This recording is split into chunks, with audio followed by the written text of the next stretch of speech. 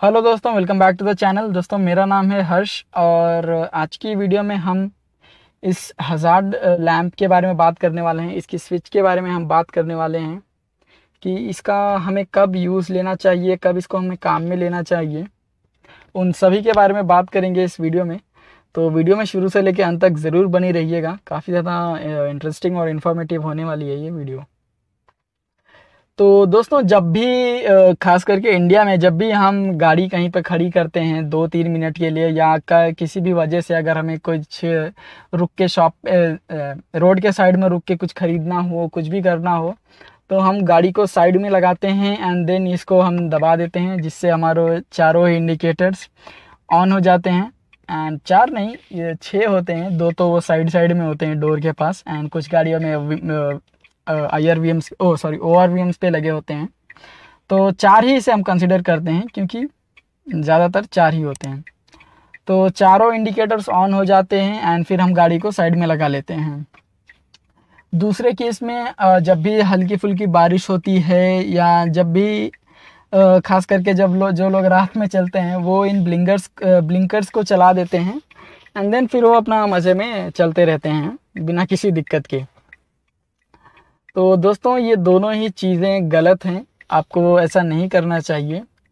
ये आप ट्राइंगल का जो सिंबल देख रहे हैं, इसका ये मतलब ही है कि हजार्डस सिचुएशन में हमें यूज़ करना है। जब कोई प्रॉब्लम हो गाड़ी में या कुछ भी गाड़ी में ब्रेक डाउन हो जाए, उस कंडीशन में हमें ये यूज़ करना चाहिए।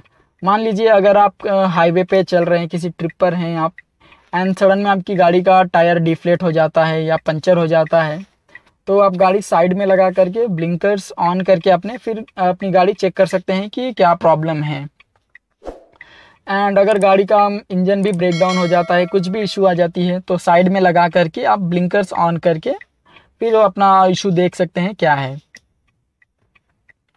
एंड दोस्तों, ये, यही सिंबल आपको उस पर भी देखने को मिल जाएगा, जो हमारी स्टेपनी के साथ एक किट आता है ट्राइंगल वाला। उसका मैं फ़ोटो यहीं पर कहीं पर अटैच कर दूँगा। तो उसमें भी ये वाली वो इंडिकेट वो लाइट आती है रिफ्लेक्टर्स जिसे आप गाड़ी के थोड़ी सी पीछे लगा करके फिर अपना टायर चेंज करते हैं या कुछ भी अगर गाड़ी ब्रेक डाउन भी हो जाती है तो। तो दोस्तों इंडिया में तो ये लोग ज़्यादातर बारिश में ही यूज़ करते हैं एंड जब भी चलना होता है कुछ कुछ लोग तो ऐसे ही इसको जला करके। घूमते रहते हैं, जिससे उन्हें लगता है कि गाड़ी उनकी अच्छी दिखेगी या पता नहीं क्या सोच के गाड़ी को चलाते हैं। कुछ कुछ कंडीशंस हैं जिसमें आप इसको यूज़ कर सकते हैं अपनी सेफ्टी के लिए और दूसरों की सेफ्टी के लिए। जैसे कि मान लीजिए कहीं एकदम मूसलाधार बारिश हो रही है एंड एंड एक सिनेरियो ये भी है कि मान लीजिए एकदम डेंस फॉग है, घना कोहरा जिसे कहते हैं, धुंध कहते हैं जिसे अगर एकदम वो हो रखा है एंड अगर आपकी गाड़ी में फॉग लाइट्स नहीं है तो आप इसका बेशक यूज़ कर सकते हैं। वहाँ पर ये काफ़ी यूज़फुल साबित हो सकता है। थोड़ी सी गाड़ी की विजिबिलिटी ये बढ़ा देगा, जिससे कि आप विजिबल हो पाएँगे दूसरे दूसरे पैसेंजर्स को जो आपके सामने से आ रहे हैं, दूसरे ट्रैवलर्स को, दूसरे ड्राइवर्स को, जो आपके सामने आ रहे हैं या अपने पीछे चल रहे हैं। उनको आप वॉर्न कर सकते हो कि मे, मेरी गाड़ी में फॉग लाइट नहीं है तो ये आप इसको जला करके घूम रहे हैं। अभी मैं इसको ऑफ़ कर देता हूँ।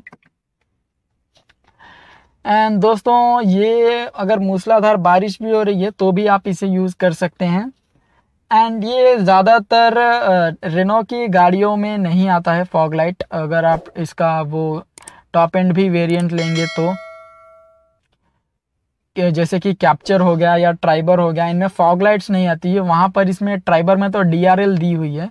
कैप्चर में भी शायद वहीं पर डीआरएल है, लेकिन कैप्चर में भी फॉग लाइट्स नहीं है।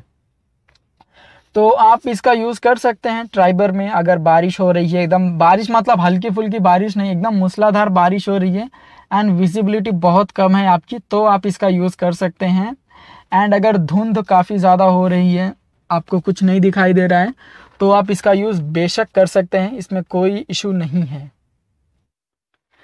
तो दोस्तों, इस वीडियो में बस इतना ही। अगर वीडियो पसंद आया हो तो वीडियो को लाइक कर दीजिए। चैनल पर नए आए हैं तो चैनल को सब्सक्राइब भी कीजिए। एंड दोस्तों, कोई भी सुझाव कमेंट्स या मेरी अगली किस टॉपिक पर वीडियो बनाऊँ मैं, उसके ऊपर अगर आपको कुछ कहना है तो आप मुझे कमेंट्स में बता सकते हैं। एंड वीडियो यहाँ तक देखने के लिए आपका बहुत बहुत धन्यवाद।